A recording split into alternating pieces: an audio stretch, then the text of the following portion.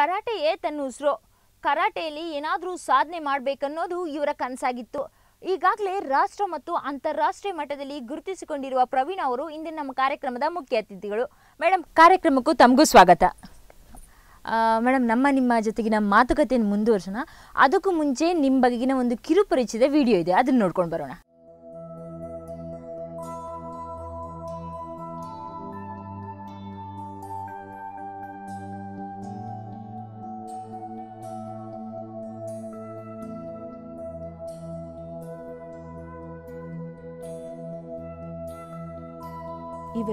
ಕರಾಟೆಯೇ ಪ್ರಪಂಚ. ಇವರಿಗೆ ಕರಾಟೆ ಬರೀ ಹವ್ಯಾಸವಲ್ಲ, ಇದು ಜೀವನಾಧಾರ. ಹೆತ್ತವರಿಂದ ಪ್ರೋತ್ಸಾಹ, ಗೆಳೆಯರಿಂದ ಸಹಕಾರ ಪಡೆದು ಅವರು ಈ ಸ್ಥಾನ ತಲುಪಿದ್ದಾರೆ. ಕರಾಟೆ ಅಂದರೆ ಏನು ಎಂದೇ ತಿಳಿಯದ ವಯಸ್ಸಲ್ಲಿ ಈ ಕ್ಷೇತ್ರಕ್ಕೆ ಕಾಲಿಟ್ಟ ಪ್ರವೀಣ ಇಂದು ಸೋಲಿಲ್ಲದ ಸಾಧಕಿಯಾಗಿದ್ದಾರೆ ಕರಾಟೆ ಜೀವನವನ್ನು ಆರಂಭಿಸಿ ಇಪ್ಪತ್ತು ವರ್ಷಗಳೇ ಕಳೆದವು. ಈ ಇಪ್ಪತ್ತು ವರ್ಷಗಳಲ್ಲಿ ನಾನ್ನೂರಕ್ಕೂ ಮಿಕ್ಕಿದ ಪ್ರಶಸ್ತಿಗಳನ್ನು ತನ್ನ ಮುಡಿಗೇರಿಸಿಕೊಂಡಿದ್ದಾರೆ. ಇವುಗಳ ಪೈಕಿ ನಾಲ್ಕು ಅಂತಾರಾಷ್ಟ್ರೀಯ ಮಟ್ಟದ ಪ್ರಶಸ್ತಿಗಳು ದೊರಕಿವೆ.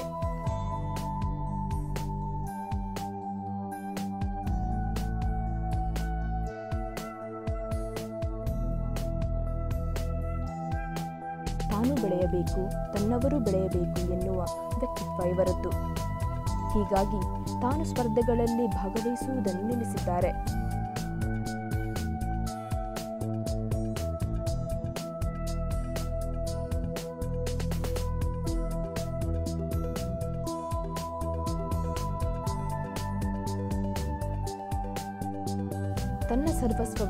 ಕಲಿಯಲು ಬರುತ್ತಿರುವ ವಿದ್ಯಾರ್ಥಿಗಳ ಅಭಿವೃದ್ಧಿಗಾಗಿ ಮುಡಿಪಾಗಿಟ್ಟಿದ್ದಾರೆ.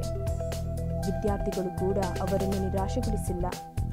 ಪ್ರತಿ ಬಾರಿ ಸ್ಪರ್ಧಿಸಿದಾಗಲೂ ಬಹುಮಾನಗಳ ಸರಮಾಲೆಗಳನ್ನೇ ಮಡೆದು ಹಿಂದಿರುಗಿದ್ದಾರೆ.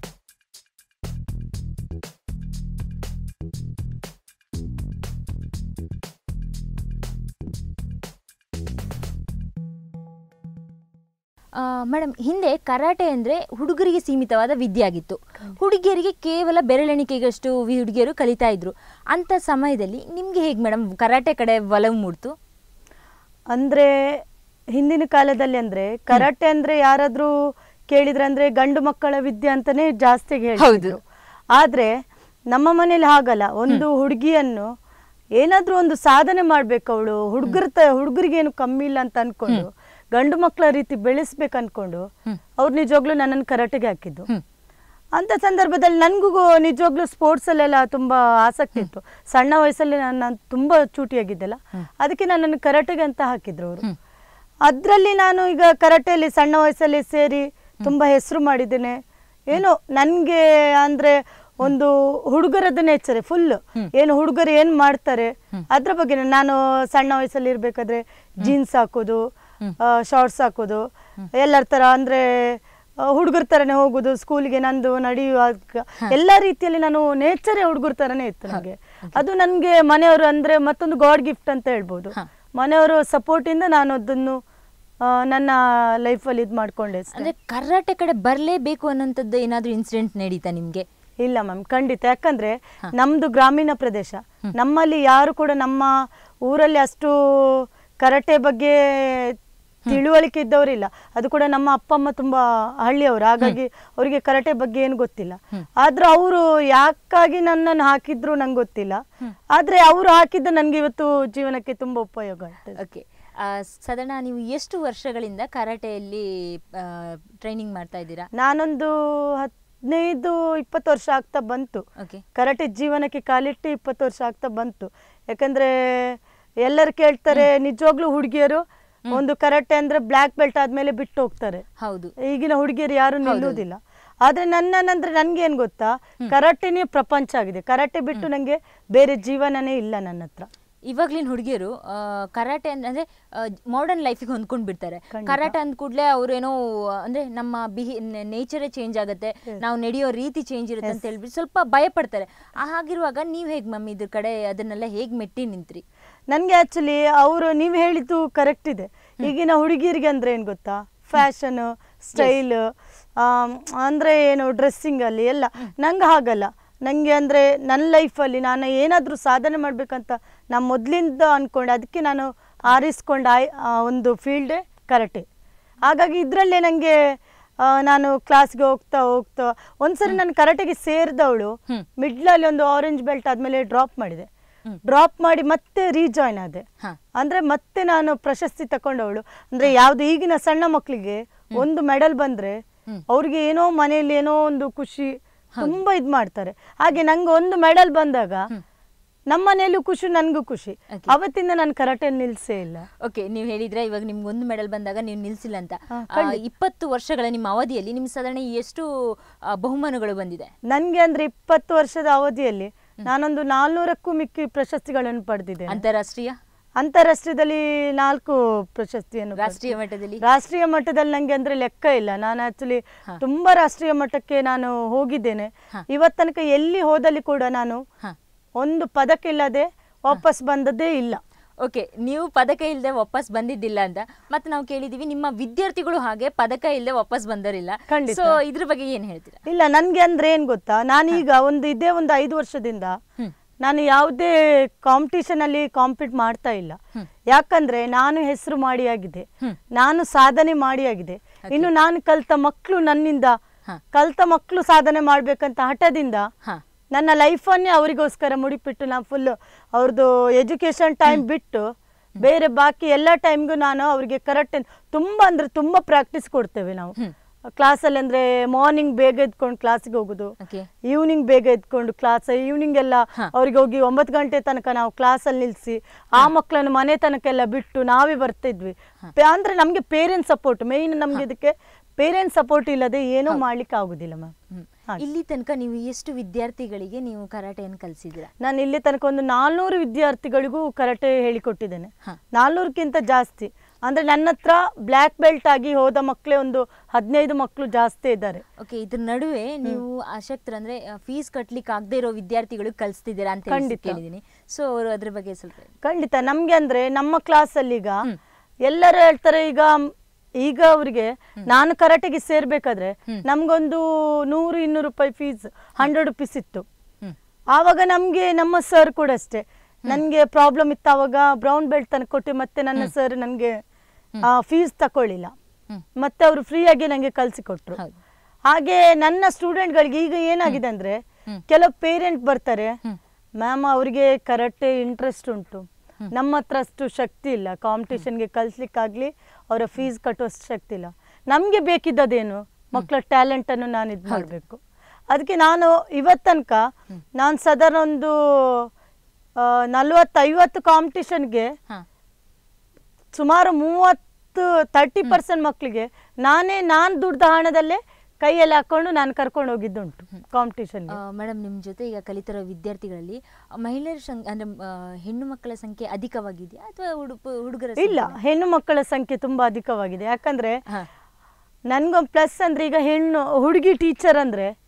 ಎಲ್ಲ ಕಡೆ ಈಗ ಒಂದು ಪೇರೆಂಟ್ಸ್ ಈಗ ಈಗಿನ ನಿಮ್ಗೆ ಸಿಚುವೇಶನ್ ಗೊತ್ತಿದೆ. ಹೌದು. ಏನಂತ ಒಂದು ಸಣ್ಣ ಮಕ್ಕಳನ್ನು ಹೊರಗಡೆ ಕಲಿಸ್ಬೇಕಾದ್ರೆ ಪೇರೆಂಟ್ಸ್ ತುಂಬಾ ಅಂದ್ರೆ ತುಂಬಾ ಯೋಚನೆ ಮಾಡಿ ಕಲಿಸ್ತಾರೆ. ಹಾಗೆ ಇದು ಲೇಡಿ ಟೀಚರ್ ಅಂದ್ರೆ ನಮಗೆ ಅವರ ಥಿಂಕ್ ಮಾಡ್ತಾರೆ ನಮ್ಮ ಮಕ್ಕಳು ಸೇಫ್ಟಿ ನಾನು ಇವತ್ತು ತನಕ ನನಗೆ ನಮ್ದು ಇನ್ಸ್ಟಿಟ್ಯೂಟ್ ಆಗಲಿ ಎಲ್ಲ ಕಡೆ ಕೇಳ್ತಾರೆ ನೀನು ಯಾವ ಧೈರ್ಯದಲ್ಲಿ ಇಷ್ಟು ಮಕ್ಕಳನ್ನು ಇಷ್ಟು ದೂರ ಕಾಂಪಿಟೇಷನ್ ನಾನು ಲಾಸ್ಟ್ ಟೈಮ್ ಹೈದ್ರಾಬಾದಿಗೂ ಅಷ್ಟೇ ಇಪ್ಪತ್ನಾಲ್ಕು ಮಕ್ಕಳನ್ನು ಕರ್ಕೊಂಡು ಹೋಗಿದ್ದೆ. ಒನ್ ವೀಕ್ ಇದ್ದು. ಆ? ಹೀಗೆ ಮಲೇಷ್ಯಕ್ಕಷ್ಟೇ ನಾಲ್ಕು ಮಕ್ಕಳನ್ನು ಕರ್ಕೊಂಡು ಹೋಗಿದ್ದೆ. ಎಲ್ಲ ಅದರಲ್ಲಿ ಹುಡುಗಿಯರೇ ಇದ್ರು ಇಬ್ರು.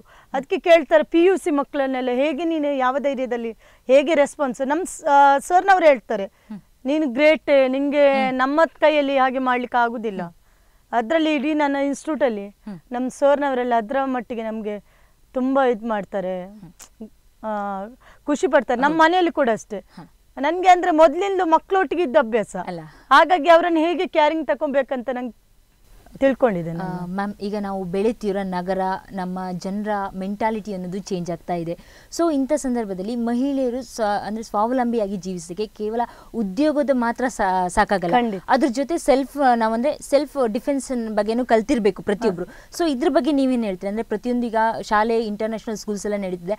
ಅಲ್ಲೆಲ್ಲ ಒಂದೊಂದು ಕರಾಟೆ ಅಂತ ಸೆಲ್ಫ್ ಡಿಫೆನ್ಸ್ ಏನಾದರೂ ಮೆಥಡ್ ಇಟ್ಟಿದ್ರೆ ಹೆಲ್ಪ್ಫುಲ್ ಆಗುತ್ತೆ ಅಂದ್ರೆ ಈ ಅತ್ಯಾಚಾರ ಆಗಿರ್ಬೋದು ಹರಾಸ್ಮೆಂಟ್ ಆಗಿದೆ ಇಂಥದ್ದಿಂದ ಹೊರಗೆ ಬರಕ್ಕೆ? ಖಂಡಿತ ಮಾಮ ಯಾಕೆ ಗೊತ್ತಾ ಈಗ ನೋಡಿ ಹೆಣ್ಣು ಮಕ್ಕಳಿಗೆ ಯಾವತ್ತು ನಮ್ಗೆ ಹೆಣ್ಣು ಮಕ್ಕಳಾಗ್ಲಿ ಯಾರಾಗ್ಲಿ ಯಾವತ್ತು ಎಲ್ಲಿ ಅಪಾಯ ಬರ್ತದೆ ಅಂತ ನಮ್ಗೆ ಗೊತ್ತಾಗುದಿಲ್ಲ. ಆದ್ರೆ ನಮ್ಮ ರಕ್ಷಣೆ ನಾವು ಮಾಡ್ಕೊಳ್ಬೇಕು. ಆ, ಈಗ ಒಂದು ಎಲ್ಲಾದ್ರೂ ನಾವು ಹೊರಗಡೆ ಹೋದಾಗ. ಯಾರಾದ್ರೂ ನಮ್ಗೆ ನಿಜವಾಗ್ಲೂ ನಮ್ಮದೇ ನಾನೊಂದು ಹೇಳಿದೆ ಲಾಸ್ಟ್ ಟೈಮ್ ಕೂಡ ಹೇಳ್ತೇನೆ ಯಾವಾಗ್ಲೂ ಹೇಳ್ತೇನೆ. ಅರ್ಧ ರೆಸ್ಪಾನ್ಸ್ ಹೆಣ್ಣು ಮಕ್ಕಳ ಅವರ ಜವಾಬ್ದಾರಿ ಅವ್ರ ಹತ್ರನೇ ಇದೆ. ಯಾಕಂದ್ರೆ ನಾವು ಸರಿದ್ರೆ ನಮ್ಮನ್ನು ಯಾರು ಏನು ಮಾಡ್ಲಿಕ್ಕೆ ಸಾಧ್ಯವಿಲ್ಲ. ಆದ್ರೆ ಈಗ ನಾವು ಹೊರಗಡೆ ಹೋದಾಗ ಯಾರಾದ್ರೂ ನಮ್ಗೆ ಏನಾದ್ರೂ ಒಂದು ಅಪಾಯ ಬಂದಾಗ ನಮ್ಗೆ ನಿಜವಾಗ್ಲು ನಾನು ಹೇಳ್ತೇನೆ ಕರಾಟೆ ಕಲ್ತವ್ರಿಗೆ ಎಂತ ಆಗ್ತದೆ ನಿಂಗೆ ನಿಜವಾಗ್ಲು ಹತ್ತು ಜನರು ಬಂದಾಗ ನಮ್ಮ ಹತ್ರ ಏನು ಮಾಡಲಿಕ್ಕೆ ಮಾಡ್ಲಿಕ್ಕೆ ಆಗದಿದ್ರು ಕೂಡ ನಾವು ಜಸ್ಟ್ ಅವರಿಂದ ಹೇಗಾದ್ರೂ ಬಚಾವ್ ಮಾಡಿ ಬಚಾವಾಗಿ ಅಂತ ನಮ್ಗೆ ಥಿಂಕಿಂಗ್ ಇರುತ್ತೆ ಯಾಕೆ ಗೊತ್ತಾ. ನಮ್ಮ ಹತ್ರ ಬರ್ಬೇಕು. ಈಗ- ಕರಾಟೆ ಪ್ರವೀಣ ಅಂದ್ರೆ ಯಾರಾದ್ರು ಅವಳಿಗೆ ಕರಾಟೆ ಗೊತ್ತುಂಡು ಮಾರೆ ಅವಳ ಹತ್ರ ನಾವು ಬರ್ಬೇಕಾದ್ರೆ ಅವ್ರು ಥಿಂಕ್ ಮಾಡಿ ಬರ್ತಾರೆ ಮಾತಾಡ್ಲಿಕ್ಕೆ. ಕೆಲವೊಂದು ಟೆಕ್ನಿಕ್ಸ್ ಇರುತ್ತಂತೆ. ಇವಾಗ ನಾವು ಸೆಲ್ಫ್ ಡಿಫೆನ್ಸ್ ಮಾಡಕ್ಕೆ ಕರಾಟೆ ಕೆಲವೊಂದು ಟೆಕ್ನಿಕ್ಸ್ ಅದು ಯೂಸ್ಫುಲ್ ಆಗುತ್ತಾ? ಖಂಡಿತ ಖಂಡಿತ. ಆಕ್ಚುಲಿ ನಮ್ಗೆ ಒಂದು ಇಂಥ ಸಿಚುವೇಶನ್ ಅಲ್ಲಿ. ಕರಾಟೆ ನೆನಪು ಬರುದಿಲ್ಲ. ಈಗ ನಾವು ಎಲ್ಲಾದ್ರೂ ಕಾಂಪಿಟೇಷನ್ಗೆ ಹೋಗ್ತೇನೆ. ನಾನು ಕ್ಲಾಸಲ್ಲಿ ತುಂಬಾ ಪ್ರಾಕ್ಟೀಸ್ ಮಾಡಿರ್ತೇನೆ ಫೈಟಿಂಗ್ ಎಲ್ಲ. ಅದು ಟೆಕ್ನಿಕ್ಸ್ ಈಗ ನಾನು ಪಂಚ್ ಹೊಡಿಬೇಕು ನಾನು ಕಿಕ್ ಹೊಡಿಬೇಕು ಹಾಗೆಲ್ಲ ತುಂಬಾ ಪ್ರಾಕ್ಟೀಸ್ ಮಾಡಿರ್ತೇವೆ. ಆದ್ರೆ ನಮ್ಗೆ ಅಲ್ಲಿ ಅದು ರಿಂಗಲ್ಲಿ ನಿಂತಾಗ ನೆನ್ಪು ಬರುದು ನಾನು ಗೆಲ್ಬೇಕಷ್ಟೇ ಮಾತ್ರ. ಅವಾಗ ಆವಾಗ ನನಗೆ ಪಂಚು ನೆನ್ಪು ಬರುದಿಲ್ಲ. ಕಿಕ್ಕು ನನ್ಗೆ ಅವರಿಂದ ಒಂದು ಪೆಟ್ಟು ಬಿದ್ರೆ ಅದ್ರ ನೋವು ಇನ್ನೊಂದ್ ಎರಡು ಕೊಡ್ಬೇಕಂತ ನಮ್ಗೆ ಅನ್ಸ್ತದೆ ಮನ್ಸು ಅನ್ಸುತ್ತೆ ಅವಾಗ. ಆವಾಗ ನಾವೇನ್ ಮಾಡ್ತೇವೆ? ನಮ್ಗೆ ಪಾಯಿಂಟ್ ಬೇಡ. ಅವರನ್ನು ಹೊಡೆದು ಬರ್ಬೇಕಂತ ಒಂದು ಮನ್ಸಲ್ಲಿ ಮೂಡ್ತದೆ ಸೊ ಹಾಗಾಗಿ ನಾವು ಸೆಲ್ಫ್ ಡಿಫೆನ್ಸ್ ಆರಾಮ್ಸೆ ಮಾಡ್ಕೊಳ್ಬಹುದು ಖಂಡಿತ. ಮಾಡ್ಕೊಂಡು. ಮಾಡ್ಕೊ ಯಾಕಂದ್ರೆ ಕರಾಟೆ ಟೆಕ್ನಿಕ್ಸ್ ನಮ್ಗೆ ಯೂಸ್ ಬರುದಿಲ್ಲ. ನಾನು ಮೊದ್ಲೇ ಹೇಳಿದ್ದೇನೆ. ಕರಾಟೆ ಟೆಕ್ನಿಕ್ಸ್ ಈಗ ಅವ್ರು ನಮ್ಮನ್ನ ಈಗ ಕರಾಟೆ ಅವರಿಗೆ ಆದ್ರೆ ಕರಾಟೆ ಫೈಟೇ ಮಾಡ್ತಾರೆ. ಅದರ್ಸ್ ಬೇರೆಯವರು ಹೇಗೆ ನಮ್ಮ ಜೊತೆ ಕರಾಟೆ ಫೈಟ್ ಅವ್ರು ನಾರ್ಮಲ್ ಫೈಟ್ ಎಲ್ಲ ಚಾಕು ಕತ್ತಿ ಏನಾದ್ರೂ ಕೋಲೆಲ್ಲ ಇಟ್ಕೊಂಡು ಏನಾದ್ರೂ ಬಂದು ಹೊಡೆದ್ರೆ ನಾವು ಅವಾಗ ಎಂತ ಮಾಡ್ಲಿಕ್ಕೆ ಆಗ್ತದೆ ಅವಾಗ ನಮ್ದು ಕರಾಟೆ ಫೈಟ್ ಯೂಸ್ ಬರುದಿಲ್ಲ. ಅವಾಗ ನಾವು ನಮ್ದು ಏನಾದ್ರೂ ನಮ್ಮ ಹತ್ರ ಶಕ್ತಿ ಇರ್ತದೆ ಧೈರ್ಯ ಇರ್ತದೆ. ಅದನ್ನ ಏನಾದರೂ ಯೂಸ್ ಮಾಡ್ಬೋದು? ನಾವು ಓಕೆ ನಿಮ್ಮ ಜೀವನ ಮತ್ತು ಕರಾಟೆ ಇವೆರಡನ್ನು ಹೇಗೆ ತೂಸ್ಕೊಂಡು ಹೋದ್ರಿ? ಆ, ಇದ್ರ ಬಗ್ಗೆ ಅಂದ್ರೆ ಮ್ಯಾಮ್.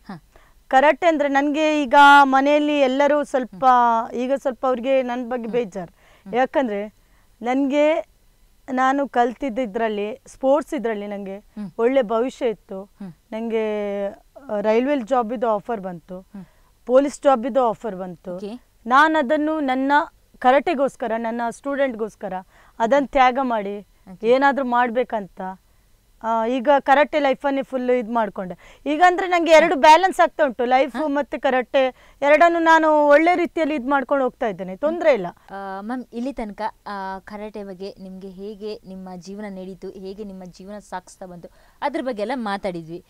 ಇದ್ರ ಜೊತೆನೆ ಪ್ರತಿಯೊಬ್ಬರ ಜೀವನದಲ್ಲಿಯೂ ಸಿಹಿ ಕೈ ಎನ್ನುವ ಘಟನೆಗಳಿರುತ್ತೆ. ನಿಮ್ಮ ಜೀವನದಲ್ಲಿ ತುಂಬ ಬೇಸರ ಮೂಡಿಸಿರುವ ಏನಾದರೂ ಘಟನೆ ನಡೆದಿದೆಯಾ? ಖಂಡಿತ ಮ್ಯಾಮ್ ತುಂಬ ನಡೆದಿದೆ. ಅಂದರೆ ಯಾಕೆ ಗೊತ್ತಾ. ಈಗ ಕ್ರೀಡೆ ಅಂದ್ರೆ ಎಲ್ಲಾ ಕ್ರೀಡೆಗೆ ತುಂಬಾ ಸಹಕಾರ ಇದೆ. ಈಗ ಗೌರ್ಮೆಂಟ್ ಇಂದಾಗ್ಲಿ ಪ್ರತಿಯೊಬ್ಬರಿಂದ ತುಂಬಾ ಸಹಕಾರ ಇದೆ.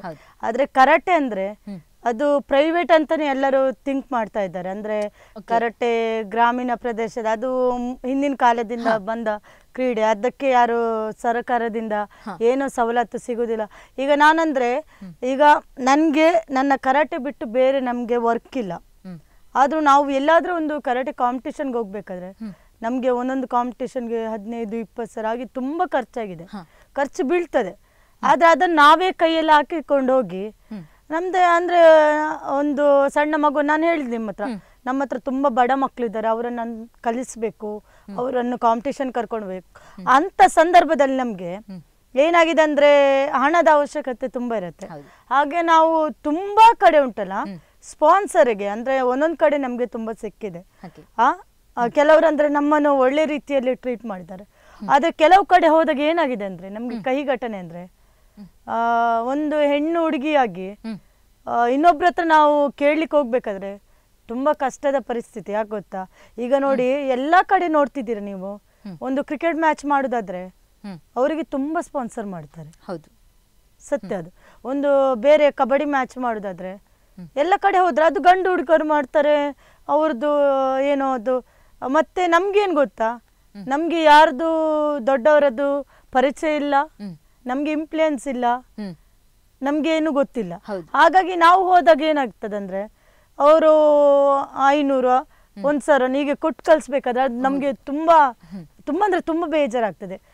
ನಾವು ಯಾಕಪ್ಪ ಇಲ್ಲಿ ಬಂದ್ವಿ ಅಂತ ಪರಿಸ್ಥಿತಿ ನಾನು ತುಂಬಾ ಸರಿ ಎದುರಿಸ್ತೇನೆ. ಅಂದ್ರೆ ಮಕ್ಕಳಿಗೋಸ್ಕರ ನಾನು ಎಂತ ಅವಮಾನ ಬೇಕಾದ್ರೆ ಆಗ್ಲಿ ಅಂತ ಸಹಿಸ್ಕೊಂಡು ನಾನು ಇದ್ದೆ ಆದ್ರೆ ಮುಂದೆ ಈಗ ಈಗ ಬರ್ತಾ ಬರ್ತಾ ನಾನು ಯಾರತ್ರ ನಾವು ಸ್ಪಾನ್ಸರ್ ಇದು ಮಾಡ್ತಿಲ್ಲ.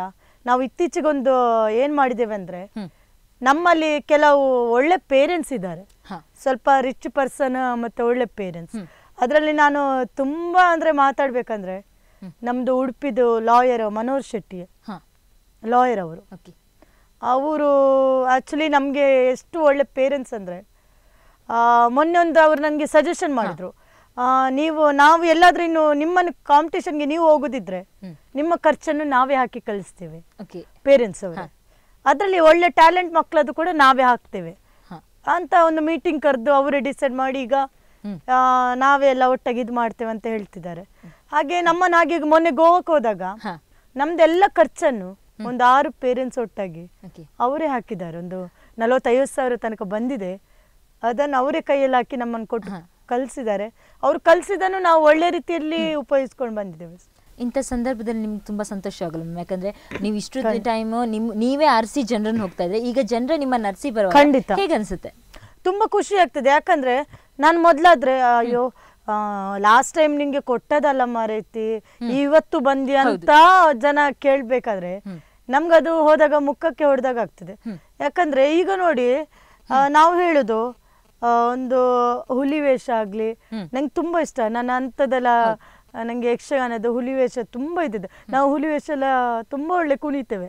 ನಾವೆಲ್ಲೋದ್ರು ಕೂಡ. ಆದ್ರೆ ನಮ್ಗೊಂದು ಮನ್ಸಲ್ಲಿ ಬೇಜಾರೇನ್ ಗೊತ್ತಾ? ಒಂದು ನಾವೀಗ ತುಂಬಾ ಕಡೆ ಸ್ಪಾನ್ಸರ್ಗೆ ಹೋದಾಗ ಒಂದು ಹುಲಿ ವೇಷದವರೊಂದು ಬಂದು ಅರ್ಧ ಗಂಟೆ ಕುಣಿದಾಗ ಕೆಲವರು ಐವತ್ತು ಸಾವಿರ ಒಂದು ಲಕ್ಷ ಎಲ್ಲ ಹಾಕುದೆಲ್ಲ ಇದೆ. ಅದು ನೀವು ಕೇಳಿರ್ಬಹುದು ನೋಡಿರ್ಬಹುದು ಅದೇ ನಾವೊಂದು ಇಂಥ ಕಡೆ ಒಳ್ಳೆಯ ಸರ್ ನಾವು ಹೋಗ್ತಾ ಇದ್ದೇವೆ.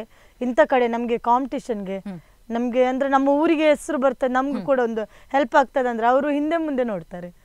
ಅದು ನಮಗೆ ತುಂಬಾ ಬೇಜಾರ್ ತಂದ ವಿಷಯ. ಅಂದ್ರೆ ಕರಾಟೆಗೆ ಹೆಚ್ಚಿನ ಪ್ರಾಶಸ್ತ್ಯ ಸಿಕ್ಕ ಖಂಡಿತ. ಕ್ರೀಡೆಗಳಿಗೆ ಕಂಪೇರ್ ಮಾಡಿ ಕಂಪೇರ್ ಮಾಡಿದ್ರೆ ಇಲ್ಲ. ಓಕೆ ಮ್ಯಾಮ್ ನಿಮಗೆ ಜೀವನದಲ್ಲಿ ಸ್ಫೂರ್ತಿ ನೀಡಿದವರು ಯಾಕೆ? ಯಾಕಂದ್ರೆ ಕರಾಟೆ ನೀವು ಕಲಿಬೇಕಾದ್ರೆ ಪ್ರತಿಯೊಬ್ಬರಿಗೂ ಪ್ರತಿಯೊಂದು ಹಂತದಲ್ಲಿ ಒಬ್ರೊಬ್ರು ಸೂ- ಸ್ಫೂರ್ತಿ. ನೀಡಬೇಕಾದ್ರೆ. ಅಂಥದ್ರಲ್ಲಿ ನಿಮ್ಮ ಜೀವನದಲ್ಲಿ ಇಪ್ಪತ್ತು ದಶಕ ಇಪ್ಪತ್ತು ವರ್ಷಗಳಲ್ಲಿ ನಿಮ್ಗೆ ಯಾರು ಸ್ಫೂರ್ತಿ ನೀಡಿದ್ದಾರೆ? ನನಗೆ ಸ್ಫೂರ್ತಿ ಅಂದ್ರೆ ನಮ್ಮ ಮನೆಯವರು. ಓಕೆ ಬಿಟ್ಟು ನನಗೆ ಅಂದ್ರೆ ನಾನು ಸಣ್ಣ ವಯಸ್ಸಲ್ಲಿ ಅಂದ್ರೆ ಕರಾಟೆಗೆ ಸೇರಿಸಿದೆ ಅವರಲ್ಲ. ಹಾಗೆ ಮನೆಯವರು ಬಿಟ್ಟು ನಂದು ಈಗ ನಾನು ಇತ್ತೀಚೆಗಷ್ಟೇ ನಮಗೆ ನಮ್ಮದು ಮಂಜು ಸರ್ ಅಂತ ಇದ್ದಾರೆ ಮಣಿಪಾಲ್. ಹಾಂ ಅವರು ಆ್ಯಕ್ಚುಲಿ ನಮ್ಮದು ಪೇಪರಲ್ಲಿ ಸ್ವಲ್ಪ ಫೋಟೋಸ್ ಎಲ್ಲ ಹಾಕಿ ಪ್ರಚಾರ ಮಾಡಿ ನಮಗೆಲ್ಲ ತುಂಬ ಒಳ್ಳೆ ಸಪೋರ್ಟ್ ಮಾಡಿದ್ದಾರೆ ಅವರು. ಅವರನ್ನೆಲ್ಲ ನಾವೇನು ಅಂತವೆ ಅಂದ್ರೆ ನಮಗೆ ದೇವರು ಕಲಿಸಿದಂತಷ್ಟೇ ಯಾಕೆ ಗೊತ್ತಾ? ದೇವರಿಗೂ ಗೊತ್ತಾಗ್ತದೆ. ಕಷ್ಟಪಟ್ಟು ಪಟ್ಟು ಸಾಕಾಗಿ ಯಾರನ್ನಾದ್ರೂ ಒಬ್ಬರನ್ನು ಕಲಿಸಿಕೊಡುವಂತ ದೇವ್ರಿಗೆ ಅನ್ಸುತ್ತೆ ಹಾಗೆ ಅಂತರು ತುಂಬಾ ಜನ ಇದ್ದಾರೆ ಗಣೇಶ್ ರಾಜ್ ಸರಳಬೆಟ್ಟು ಮತ್ತೆ ಮಂಜುಳಾ ವಿಷ್ಣು ಪ್ರಸಾದ್ ಬಗ್ಗೆ ನಾನು ಹೇಳಲೇಬೇಕು. ಅವರಂದ್ರೆ ಅವರು ಮಹಿಳೆಯಾಗಿ ತುಂಬಾ ಒದ್ದಾಡಿದ್ದಾರೆ. ಆ ಅವ್ರು ಆಕ್ಚುಲಿ ನನ್ನ ಜೊತೆ ಇದ್ದು ನನಗೆ ತುಂಬಾ ಸಹಕಾರ ಕೊಟ್ಟಿದ್ದಾರೆ ಅವರು.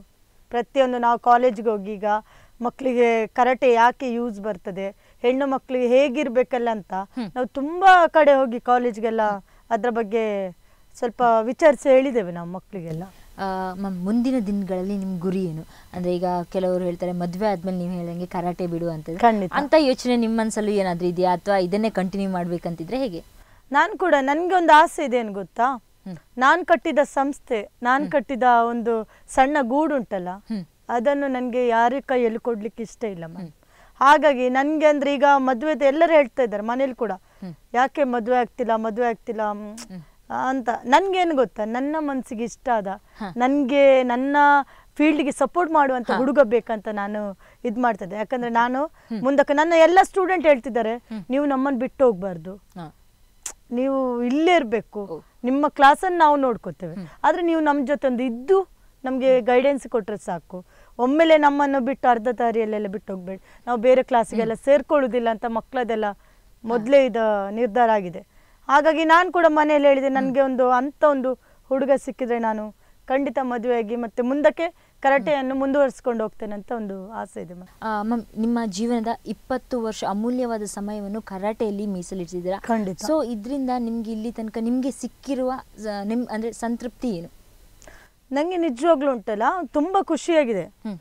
ಒಂದು ವಿದ್ಯೆ ಯಾವುದೇ ಇರಲಿ ಅದನ್ನೊಂದು ನಾಲ್ಕು ಜನರಿಗೆ ನಾವು ಕಲಿಸ್ಬೇಕಾದ್ರೆ ಅದರಲ್ಲಿ ಸಿಕ್ಕುವ ಖುಷಿ. ಮತ್ತೆ ಮಕ್ಕಳೊಟ್ಟಿಗೆ ನಮ್ಮದು ಏನೇ ಟೆನ್ಷನ್ ಇರಲಿ ಎಂಥದೇ ಸಮಸ್ಯೆ ಇರಲಿ ಮಕ್ಕಳೊಟ್ಟಿಗೆ ಇದ್ರೆ ಅದ ಟೆನ್ಷನ್ ಗೊತ್ತಾಗುದಿಲ್ಲ ಏನು. ಈಗ ನಮ್ದು ಪರ್ಸನಲ್ ಪ್ರಾಬ್ಲಮ್ ತುಂಬಾ ಇರುತ್ತೆ.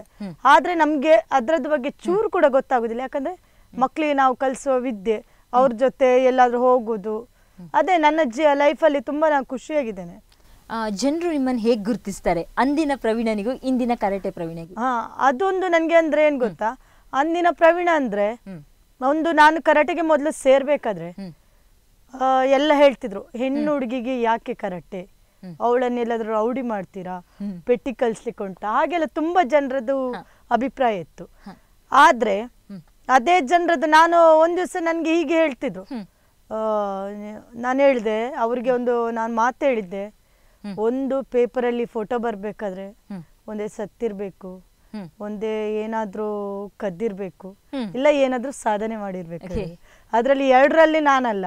ಮೂರನೇದು ನಾನು ಮಾಡಿದ್ದೇನೆ. ನಿಮ್ದು ನಿಮ್ದದು ಬರ್ಬೇಕಾದ್ರೆ ಸತ್ತಿರ್ಬೇಕಂತ ನಾನು ನೇರವಾಗಿ ಹೇಳಿದ್ದೇನೆ. ನಂಗೆ ಒಂದ್ ಎರಡು ಕಡೆ ಹೀಗೆ ಸನ್ಮಾನ ಆಗ್ಬೇಕಾದ್ರೆ. ನಂಗೆ ಅವಮಾನದ ಜಾಗದಲ್ಲೇ ಸನ್ಮಾನ ಆಗಿದ್ದು. ನನ್ನನ್ನು ಯಾರು ಅವಮಾನ ಮಾಡಿದ್ದಾರೆ? ಅವರೇ ಕರೆದು ನನಗೆ ಸನ್ಮಾನ ಮಾಡಿದ್ದಾರೆ. ಅವಾಗ ನಾನು ಈ ಮತ್ತೆ ಹೇಳಿದ್ದೇನೆ ಅಂತ ಸಂದರ್ಭ ನಿಮ್ಗೆ ಹೇಗೆ ಅನ್ಸುತ್ತೆ ಮೇಡಮ್ ಆಕ್ಚುಲಿ ಅವಮಾನ ಮಾಡಿದವರು ಕೂಡಲೇ ಬಂದು ನಮ್ ಸನ್ಮಾನ ಮಾಡುವಾಗ ಹೇಗೆ ಅನ್ಸುತ್ತೆ ಅದೇ? ನಾನು ಹೇಳಿದ್ದೆ. ನಾನು ಅವ್ರಿಗೆ ಅವತ್ತು ಹೇಳಿದ್ದೆ. ನಮ್ಮ ಮನೆಯವ್ರಿಗೆ ಹೇಳಿದ್ದೇನೆ. ನನ್ಗೆ ಯಾರು ಹಿಂದಿಂದ ಯಾರು ಮಾತಾಡ್ತಾರೆ ಅದ್ರ ಬಗ್ಗೆ ನಂಗೆ ಟೆನ್ಷನ್ ಇಲ್ಲ. ನನ್ನ ಬಗ್ಗೆ ಯಾರು ಬೇಕಾದ್ರೆ ಏನು ಹೇಳ್ಕೊಂಬರ್ಲಿ ನಂಗೆ ಅದ್ರದ್ದೇನು ಇವತ್ತು ತುಳಿದ ಜನ ನಾಳೆ ನನ್ನನ್ನು ಎತ್ತಿ ಹಿಡಿತಾರಂತ ಹೇಳಿದ್ದೆ. ಅದು ಸತ್ಯ ಆಗಿದೆ. ಸಮಯ ಸಮಯದ ಅಭಾವದಿಂದ ಕಾರ್ಯಕ್ರಮವನ್ನು ನಡೆಸುವಂತ ಸಂದರ್ಭ ಸಮಯ ಹತ್ರ ಬರ್ತದೆ. ಅದಕ್ಕೂ ಮುಂಚೆ ನೀವು ವೀಕ್ಷಕರಿಗೆ ಏನ್ ಹೇಳ ಬಯಸ್ತೀರಾ? ನಾನು ಎಲ್ಲರಿಗೂ ಹೇಳ್ತಾ ಇದ್ದೇನೆ. ನನ್ನದು ಒಂದೇ ಮತ್ತು ಹೆಣ್ಣು ಮಕ್ಕಳನ್ನು ಯಾರು ತುಳಿಬೇಡಿ ಅಷ್ಟೇ. ಹೆಣ್ಣು ಮಕ್ಕಳನ್ನು ಈಗ ಯಾರೇ ಆಗ್ಲಿ ನನ್ನ ತರ ತುಂಬಾ ಸಹಾಯ ಕಳ್ಕೊಂಡು ನನ್ಗೆ ಈಗ ತುಂಬಾ ಆಸೆ ಇದೆ. ನನ್ನ ಕೈಯಲ್ಲಿ ಆದದ್ದು ಸಹಾಯ ಬೇರೆಯವರಿಗೆ ಮಾಡ್ಬೇಕಂತ. ಈಗ ಎಲ್ಲಾದ್ರೂ ಆಕ್ಸಿಡೆಂಟ್ ಆದ್ರೂ ಕೂಡ ನಾವು ಹುಡುಗರೆಲ್ಲ ಸೀದಾ ಹೋಗ್ತಾರೆ ಹೇಳ್ತಾರೆ. ಆದ್ರೆ ನಾನು ನನ್ನ ಸ್ಟೂಡೆಂಟ್ ಯಾರಿದ್ರು ಕೂಡ ಉಂಟಲ್ಲ ನಾವು ಆ ಜಾಗಕ್ಕೆ ಹೋಗ್ತೇವೆ. ಲಾಸ್ಟ್ ಟೈಮ್ ಒಂದು ಪರ್ಕಳದಲ್ಲಿ ಇನ್ಸಿಡೆಂಟ್ ಆಗಿತ್ತು ಒಂದು ಬಸ್ ಮತ್ತೆ ಕಾರ್ ಡಿಕ್ಕಿ ಆಗಿತ್ತು. ಕಾರಿನವರು ನಿಜವಾಗ್ಲೂ ಸ್ಪಾಟ್ ಆಗಿದ್ರು. ಬಸ್ ಪಲ್ಟಿಯಾಗಿ ಫುಲ್ ಬಿದ್ದಿತ್ತು. ಬಿದ್ದಿತ್ತು. ಅಂದ್ರೆ ಇಳಿಯುವ ಜಾಗ ಫುಲ್ಲು ಟರ್ನ್ ಆಗಿತ್ತು. ಯಾರು ಎಲ್ಲ ಒಳಗಡೆ ಒಂದು ಮೂವತ್ತೆರಡು ಮೂವತ್ತಾರು ಜನ ಇದ್ರು.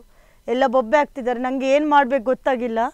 ನಾನು ಅದು ಕೂಡ ಇಳ್ದು ಮರದ ತುಂಡಿಂದ ಫ್ರಂಟ್ ಗ್ಲಾಸ್ ಅನ್ನು ಹೊಡೆದು ಡ್ರೈವರ್ ಅನ್ನು ಮೊದಲು ಹೊರಗೆ ಹಾಕಿ ಮತ್ತೆ ಆಂಬ್ಯುಲೆನ್ಸ್ಗೆ ಫೋನ್ ಮಾಡಿ ನಾನೇ ಇದು ಮಾಡಿದ್ದೇನೆ. ಅಲ್ಲಿಂದ ಸೀದಾ ಹೋಗಿದ್ದೇನೆ. ಯಾಕಂದ್ರೆ ನಾನು ಹೇಳ್ತಿದ್ದೇನೆ ಎಲ್ಲರಿಗೂ ಹೆಣ್ಣು ಮಕ್ಕಳಾಗ್ಲಿ ಯಾರೇ ಆಗ್ಲಿ ಧೈರ್ಯದಿಂದ ನಿಮ್ಮ ಜೀವನವನ್ನು ಒಳ್ಳೆ ರೀತಿಯಲ್ಲಿ ಸಾಗಿಸ್ಕೊಂಡೋಗಿ ಕೆಟ್ಟವರು ಏನೇ ಹೇಳಿದ್ರು ಕೂಡ ಒಳ್ಳೆ ಮಾತನ್ನು ಮಾತ್ರ ಕಿವಿಗಡಿ. ನಿಮ್ಮ ಸಾಧನೆಗೆ ನೀವೇ ದಾರಿ ಹುಡ್ಕೊಂಡು ಹೋಗಿ ಅಂತ ನಾನು ಎಲ್ಲ ಮಹಿಳೆಯರಿಗಾಗಿ ಹುಡುಗಿಯರಿಗಾಗಿ ಹೇಳ್ತಾ ಇದ್ದೇನೆ ನಾನು. ನನ್ನ ರೀತಿ ಒಂದು ಒಂದು ಮನವಿ ಮಾಡ್ಕೊಳ್ತಾ ಇದ್ದೆ ನಾನು. ತಮ್ಮ ಬಿಡುವಿನ ಸಮಯದ ನಡೆಯು ನಮ್ಮ ಜೊತೆ ಬಂದು ನಿಮ್ಮ ಜೀವನದ ಬಗ್ಗೆ ಮಾತಾಡಿದ್ದಕ್ಕೆ ಧನ್ಯವಾದಗಳು madam. Thank you ma'am thank you so much